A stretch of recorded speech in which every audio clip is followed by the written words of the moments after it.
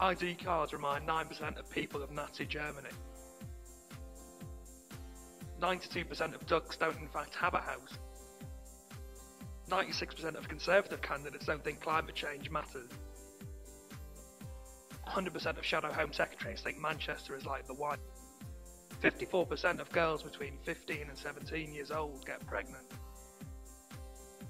23% of Tory MPs say they will never find love.